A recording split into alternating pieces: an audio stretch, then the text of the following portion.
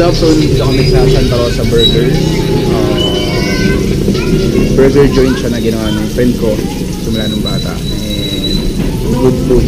Tingnan niya lang video. Nice.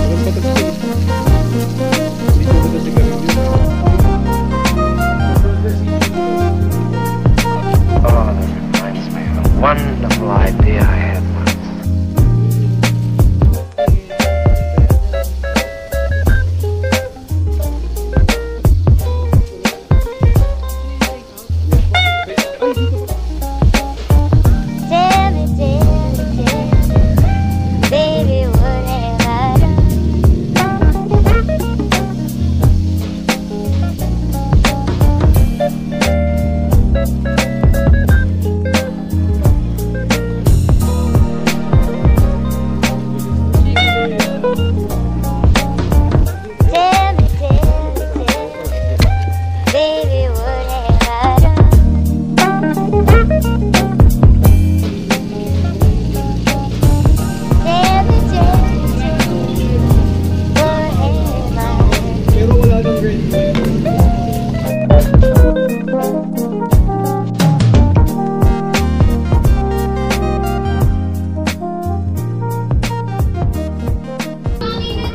Kailan pa na-establish yung es, ano, Santa Rosa Burger?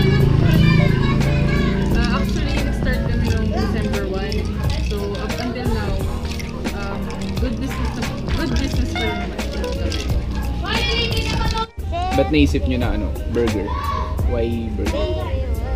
Nung una kasi, um, gusto sana sana namin uh, Mexican food. Kaso masyado mahaba i-prepare. Tapos uh, medyo pricey siya. Kasi dalawa lang kami. Kasi tag lang kami sa tindahan namin.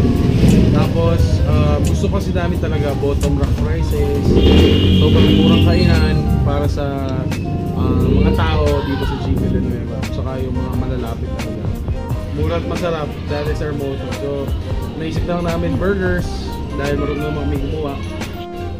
So, Tuds, bakit Santa Rosa Burger? Hello guys! Kami nga pala yung sa Santa Rosa Burgers. Hello! Um, Santa Rosa. Kasi ano eh, ah, nag-work ako dati sa Santa Rosa.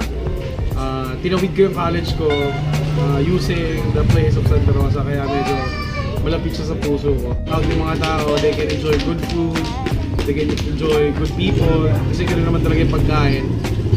Food is supposed to be um, you know consumed by people who are close together and uh, food should you know make you close together kaya napili namin yung Santa Rosa yun astig no astig no yun lang So, sir, gaano ka na kuma- katagal kumakain dito sa Santa Rosa?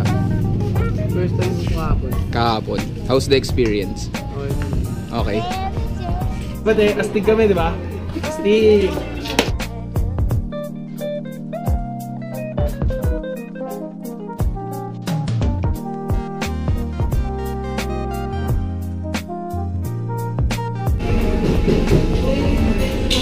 Review sa kinain namin kanina.